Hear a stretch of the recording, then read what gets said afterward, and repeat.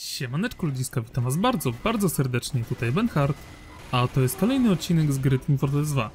E, moi drodzy, dzisiaj mam dla was filmik, w którym chciałbym po kolei przedstawić e, wszystkie minigany dzierżone przez naszego kochanego Potiska. E, będę je przedstawiał w kolejności od najgorszego do najlepszego. Czyli w skrócie na pierwszym miejscu będzie pokazany najgorszy minigun, natomiast na ostatnim będzie przedstawiony minigun najlepszy. Zanim tylko jeszcze zacznę filmik, mam dla was dwie takie króciutkie prośby. Po pierwsze, prosiłbym was, żebyście nie gniewali się na mnie, jeżeli wasz ulubiony minigun nie będzie na pierwszym miejscu lub właśnie zna znajdzie się na ostatnim miejscu. E, To moi drodzy jest tylko i wyłącznie moja subiektywna ocena i naprawdę nie musicie się z nią zgadzać. A wręcz przeciwnie. Prosiłbym was, żebyście napisali w komentarzu, który minigun według was jest najlepszy i dlaczego. E, A drugą moją prośbą jest to, żebyście po pierwsze zostawili łapeczkę w górę pod tym filmikiem, po drugie napisali jakiś fajny komentarz, e, włączając to oczywiście opis waszego ulubionego minigana. A jeżeli jeszcze nie subskrybujecie mojego kanału, to was gorąco do tego zapraszam. Dobrze, tyle w kwestii intra, jedziemy z tematem. Tak więc moi drodzy, na pierwszym miejscu mamy wejście smoka lub jak kto woli Huolong Hitter i jest to niestety moim zdaniem najgorszy minigun dla Heavy'ego. Ale po kolei. E, Broń ta została wprowadzona do gry 2 sierpnia 2012 roku i można było ją również zdobyć w stopniu oryginał, jeżeli przed 14 sierpnia e, zakupiło się w przedsprzedaży grę Sleeping Dogs. E, dlaczego uważam, że ten minigun jest najgorszy? Cóż, przez jego statystyki. Jak sami widzimy, broń ta powoduje, że wokół nas w chwili rozkręcenia pokazuje się krąg ognia, jak również zadajemy plus 25 obrażeń dla przeciwnika, który jest podpalony. To dla mnie spoko. E, minusem natomiast jest to, że zadajemy 10, minus 10% obrażeń. To idzie jeszcze przełknąć. Jednak moim, y, dlaczego właśnie ten minigun jest dla mnie najgorszy? Przez ostatnią statystykę, a konkretniej przez to, że tracimy 4 jednostki amunicji na sekundę, kiedy jesteśmy rozkręceni. I to właśnie już z automatu dyskwalifikuje ten minigun. E, Moim zdaniem można by było to zrobić troszeczkę lepiej, jednak e, to zostawiam do innego filmiku, który właśnie szykuję. E, Co jeszcze mogę powiedzieć o tym minigunie? No poza tym, że design jest no kwestia gustu. Mógłby być lepszy, ale no też jakoś e, nie jest najgorszy. A oprócz tego, no jeżeli w sojuszniczym teamie nie ma Pyro, no to cóż, no trzeba się po prostu przygotować na to, że albo będziemy musieli naprawdę blisko podchodzić przeciwnika, albo po prostu guzik zrobimy. I musimy też liczyć na to, że gdzieś w okolicach będą inżynierowie, którzy rozstawią dispensery. E, Drugim miniganem, który chciałbym wam przedstawić jest Natasza, czyli no z wyglądu można powiedzieć taka siostra bliźniaczka Saszy, czyli głównego minigana, który jest dzierżony przez Heavy'ego.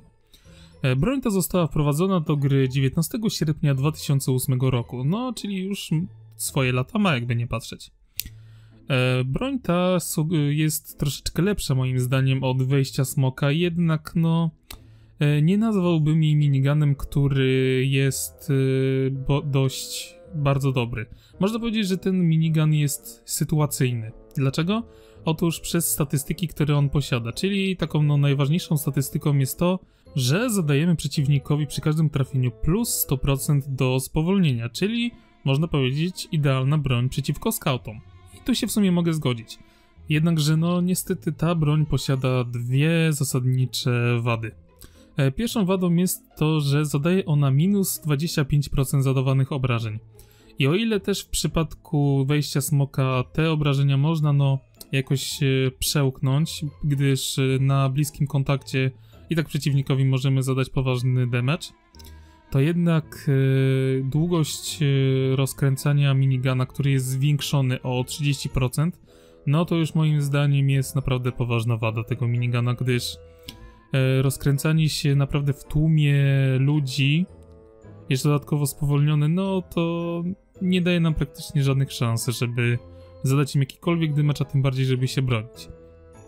Mimo to, jak mówiłem, jest to naprawdę dobra zabawka do tego, żeby się czasami pobawić, szczególnie kiedy na serwerze znajdziemy jakiegoś upierdliwego skauta i chcemy mu, powiedzmy, nie wiem, troszeczkę uprzykrzyć grę, chcemy się pobawić te sprawy.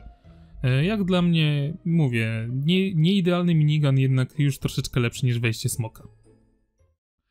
Trzecim miniganem jest Mosiężna Bestia lub jak kto woli Brass Beast.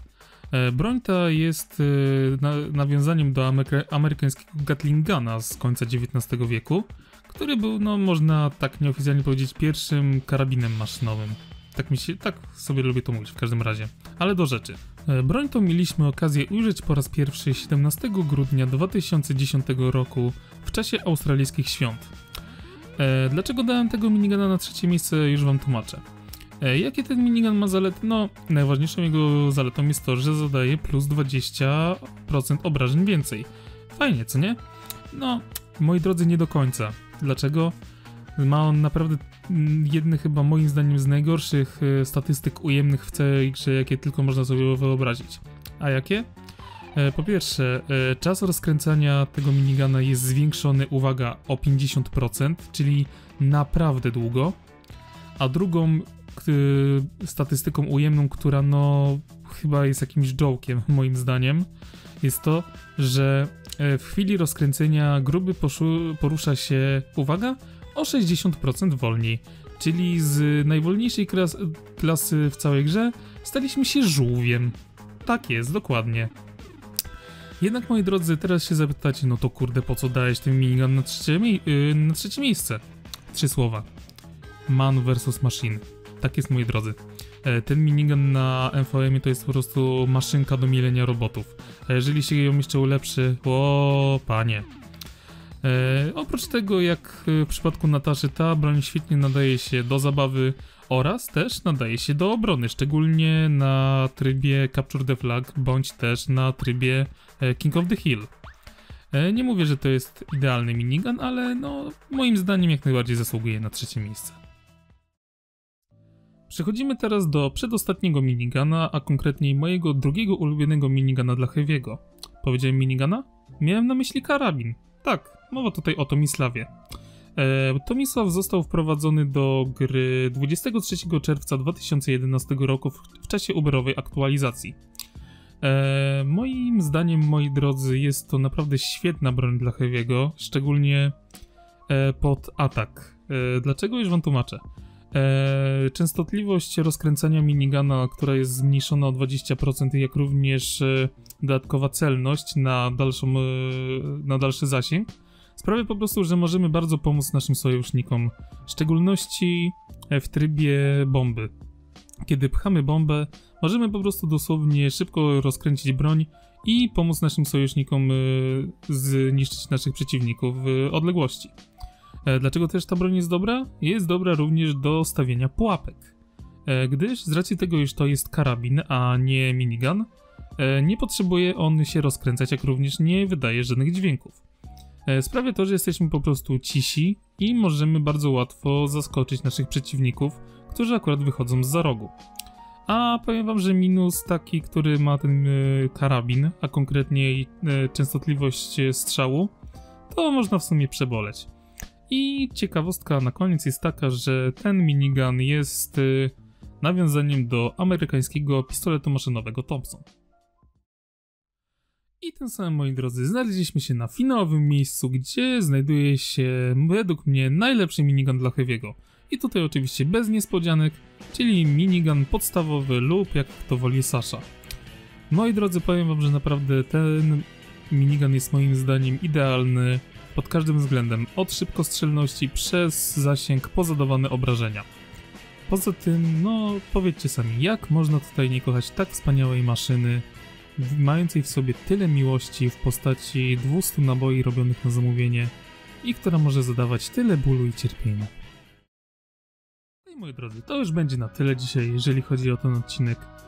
Dowiedzieliście się dzisiaj, które minigany według mnie są najlepsze, a które najgorsze. Dowiedzieliście się również co nieco na temat ich statystyk i takie tam. E, mam nadzieję, że ten filmik jak najbardziej Wam się podobał. Jeżeli tak, to nie zapomnijcie dać mu łapki w górę oraz jakiegoś fajnego komentarza, a jeżeli jeszcze nie subskrybujecie mojego kanału, to gorąco Was zapraszam.